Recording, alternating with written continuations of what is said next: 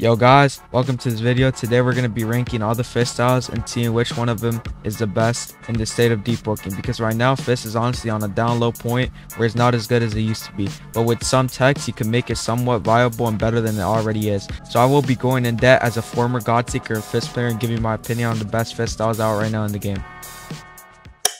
Jus Karita. Jus Karita is very controversial and overrated in my opinion after the end lag was added into it, it's still somewhat good as you get the speed boost from the talents.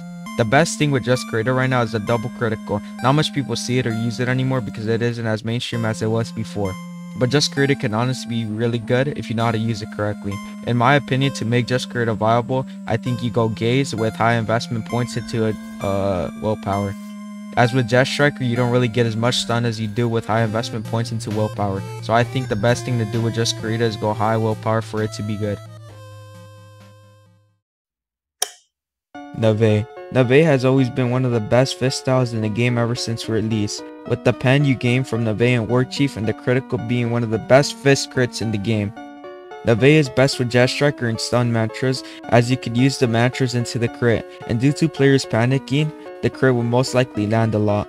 Nave has had a lot of controversy ever since the fist nerfs, but it's still really good and underrated. I would like to see more people use it in time. Honestly, you could benefit so much from Nave. In the normal fist, unlike Jus Karita, you're going to be doing purple cloud damage on a light weapon depending on the build you go. Legion. Legion has had the most controversy out of all of these fist styles, that's why I put it last. After the Legion nerfs, it's not as good as it used to be before, but it's still very viable due to people not knowing how to parry the crit. You're still doing medium weapon damage as a light weapon, so it's really good when it comes to damage. Some people think the critical is very unreactable, but once you get the hang of it, it's not as good as people think it is, that's why I put it last. It's not better than Jus Karita or Neve, as you get punished for using the critical attack. Legion is honestly best with Jet Striker and Dawnwalker and high investment points into agility. Anyways, that's just my opinion with the fist styles in the game right now. Deepwoken is honestly at the state where fist isn't meta anymore and it's not as good as it used to be.